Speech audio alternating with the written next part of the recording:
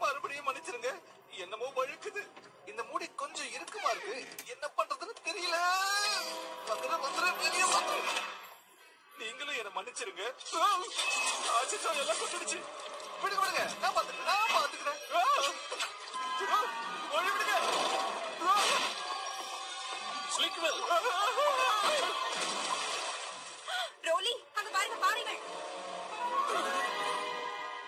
தளபதி வாஸ்கன்ஸ் இந்த கப்பலை திருப்புங்க. சக்கரம் நம்ப முடியாது மகாராஜா. அப்படின்னா இவ்வளவு பிரச்சனைகளுக்கும் அந்த பரிசு தான் காரணமா? என்னால நம்பவே முடியல. அச்சச்சோ அவங்க கிளம்பிட்டாங்களே. இளவரசி அங்க பாருங்க. அந்த பாறையை நோக்கி கப்பல் போய்கிட்டு இருக்கு. அது ஏன் திரும்ப மாட்டேங்குது? அவங்க பிரச்சனையில இருக்காங்க. நாம தான் உதவி செய்யணும். எப்படி? இது பிரமாதமா இருக்குல்ல? எனக்கு ஒரு யோசனை தோணுது. வேலாக் அந்த கப்பல்ல ஏதோ பிரச்சனை நினைக்கிறேன். அதை நிறுத்த முடியுமா? நாங்க சேர்ந்து பண்றோம். விடுகிச்சு விட்டு வண்டியை ஓட்டு.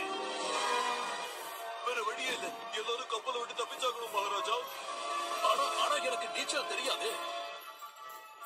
நாம ரெண்டு பேரும் சேர்ந்து அசத்துவோமா? உயிரும் உயிரை காக்கணும்.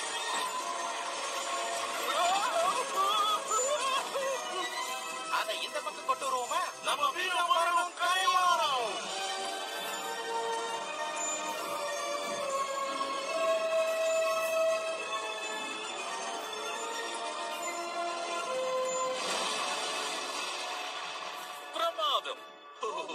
நிம்மதியா இருக்கு.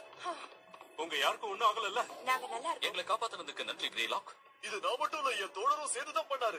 நன்றி சற்றை அப்படியா? நல்லா பண்ணீங்க சட்ரேக் ரொம்ப நன்றி மகாராஜா. இந்த மாதிரி நடந்ததுக்கு உங்க எல்லார்கிட்டயும் நான் மன்னிப்பு கேட்டுக்கிறேன். நான் இருக்கேன். இருங்க நான் எல்லாத்தையும் சுத்தம் பண்ணிடுறேன்.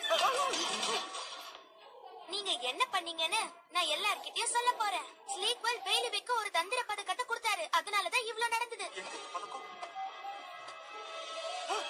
அவர்கிட்ட தான் இருக்கு பாருங்க. மகாராஜா நான் சொல்றத கொஞ்சம் கேளுங்க. நீ பண்ண எல்லா காரியத்தையும் நாங்க பார்த்துட்டோம். ஸ்லிக்வெல் இனிமே உனக்கு எங்கேயும் வேலை இல்ல கிளம்பலாம். நீங்க என்ன சொல்றது? நான் ராஜா மேக்னஸ்க்காக வேலை செய்யறேன் புரிஞ்சுதா? அப்படியா? அப்படின்னா நானும் சொல்றேன். முதல்ல நீ கிளம்பு ஸ்லிக்வெல் என்னது? மகாராஜா சொன்னா கேளுங்க. எனக்கு எனக்கா?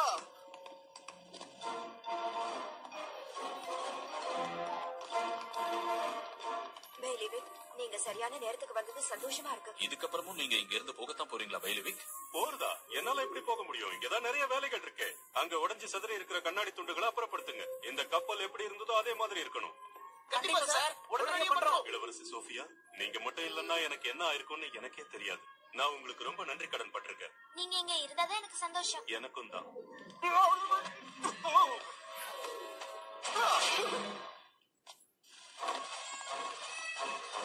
ஸ்லீக் பல பத்தி உங்களுக்கு இன்னும் சரியா தெரியல. அந்த பதக்கத்தை. எல்லாரும் கவனிங்க பெயிலிவிக்க ஒரு தலை சிறந்த சேவகனா ஒரு நல்ல நண்பனா யாருக்கும் கிடைக்காத ஒரு உதவியாளரா உங்களுக்கு. நான் அறிமுகப்படுத்துறதுல பெருமைப்படுறேன்.